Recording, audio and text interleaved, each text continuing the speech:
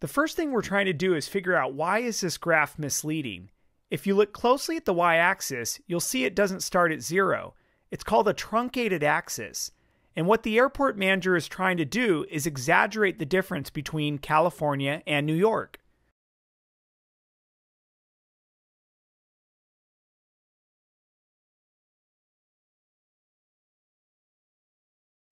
Now let's create the correct graph. We'll start the vertical axis at 0 and we'll go all the way up to 3 billion.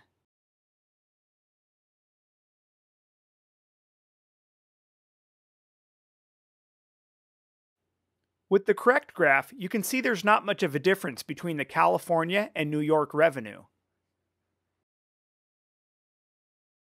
Like this video? Check out my book, The Ultimate AP Statistics Practice Book. It's got 100 problems, all with videos just like this.